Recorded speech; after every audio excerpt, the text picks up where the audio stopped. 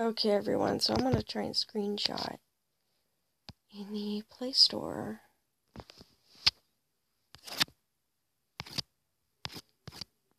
What the hell?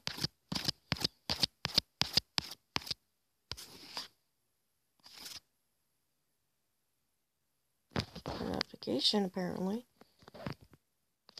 Bro, I don't care.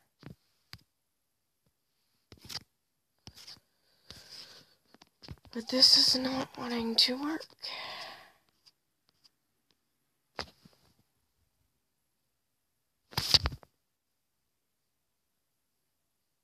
Nothing, as you can see in the thing up here.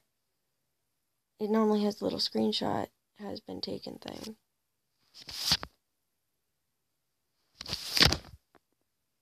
It's not screenshotting. God, I literally, Amino is my most recent search. I have uninstalled it. I don't like go on here often, so the tablet I go on often, but not this app. Don't go on Google Play often. I'm serious, I don't.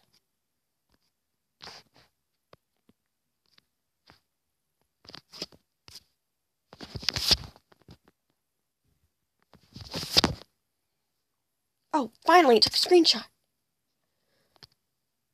As you can see, this is a screenshot that I take. Well, it's proof I actually uninstalled Amino. That one is too. But it's weird. This is like never ending. So guys, gonna have to delete this screenshot and yeah, see you later.